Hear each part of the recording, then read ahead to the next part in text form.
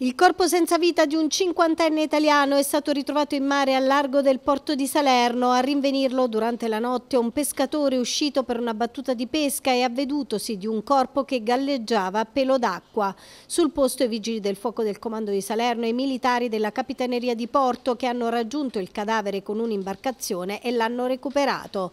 Da un primo esame esterno si esclude la morte violenta in quanto non ne sarebbero stati ritrovati segni, ma sul caso è stata aperta un'indagine Comune ad effettuare i rilievi gli accertamenti necessari la Polizia Scientifica assieme alla squadra mobile di Salerno. Non si esclude nulla al momento tra cadute accidentali e malori e solo ulteriori approfondimenti medico-legali potranno sciogliere i dubbi. L'ipotesi più accreditata è che potrebbe essere caduto a seguito di un malore da un peschereccio di proprietà di un parente dove però si trovava da solo per una battuta di pesca.